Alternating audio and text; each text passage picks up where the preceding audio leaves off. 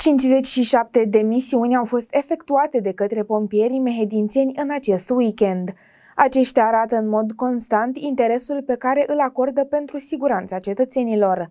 Mereu la datorie și promți, aceștia își pun de multe ori viața în pericol pentru a o salva pe a noastră. Pompierii mehedințeni au efectuat 57 de misiuni în acest weekend, printre care 3 pentru stingerea unor incendii, 32 pentru acordarea asistenței medicale de urgență a unor persoane care au solicitat ajutorul și 21 pentru prevenirea și combaterea răspândirii noului coronavirus.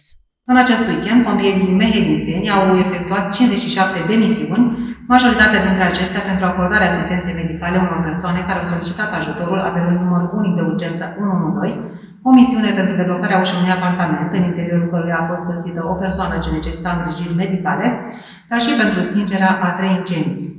Pentru a preveni producerea unor situații de urgență care pot pune în pericol nu doar bunurile materiale, ci chiar viața seminilor, le reamintim cetățenilor că este obligatorie verificarea, repararea, izolarea termică și curățarea periodică a coșurilor de fum. Totodată, acestea trebuie izolate termic față de elementele combustibile ale acoperișului sau planșeului, fiind interzisă folosirea coșurilor de zid necurățate. O atenție deosebită trebuie acordată și instalațiilor electrice.